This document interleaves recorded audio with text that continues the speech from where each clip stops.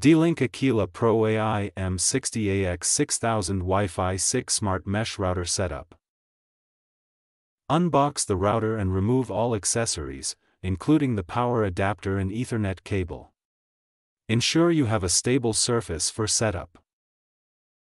Select a central location in your home for optimal coverage.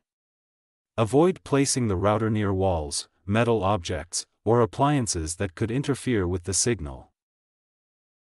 Plug the power adapter into the router and connect it to an electrical outlet. Make sure the router is powered on, wait for the LED lights to stabilize.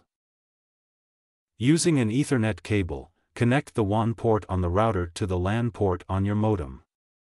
This establishes the internet connection for the router.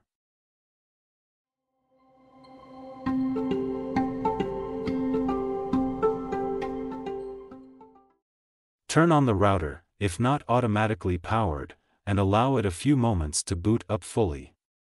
Look for the LED indicators to confirm it is functioning correctly. On your smartphone or computer, search for the default Wi-Fi network name, SSID, displayed on the router. Connect to it using the default password, which can also be found on the router label.